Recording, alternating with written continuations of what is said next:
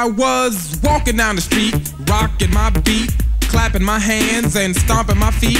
I saw a little lady so neat and petite. She was so sweet. Yes, I wanted to meet her. So I asked this lady, could I take her out? We could wine and dine and talk about the birds and the bees in my water bed. And you could treat me like a Buddha and bow your head. We continued to talk, and before you knew it, we were my house and it was time to do it. As soon as I finished, I lost my poise, ran outside and told all my boys. I said, listen up, fellas, come over here, bust it. They said, Did you get it? I said, Yeah. They said, How was it? The boom was dope, and you know that I rocked her. But three days later, go see the doctor.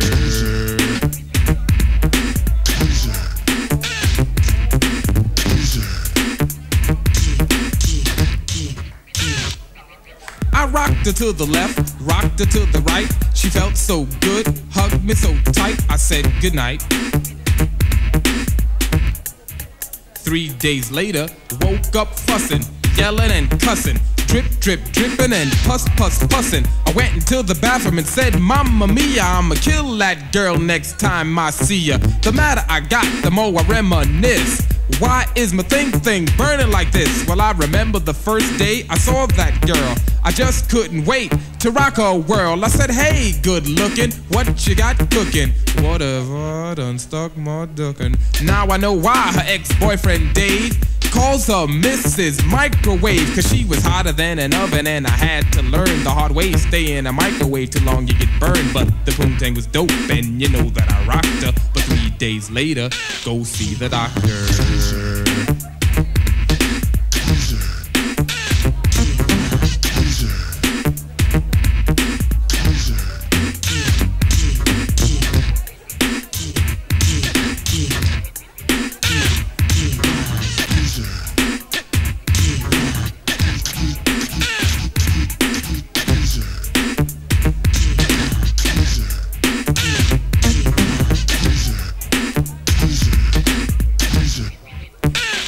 Went to the doctor's office. I said, What have I got? He said, Turn around, boy, and take this shot. I looked at him like he was crazy, and I said, What? Ain't nobody sticking nothing in my butt. He turned and said, in a real deep voice, have it your way if that's your choice, and I'll put it down if you want me to put it. But don't blame me if it turns into a foot extended from the middle of your body.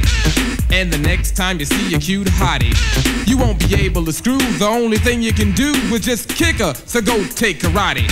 As I turned around to receive my injection, I said next time I'll use some protection. If I see another girl and I get an erection, I'm walking in the other direction. Cause I don't wanna do the sick, sick dance. So I'm keeping my prick inside my pants. And if I see another girl and I know I can rock her, before I push up, I'll make her go see the doctor.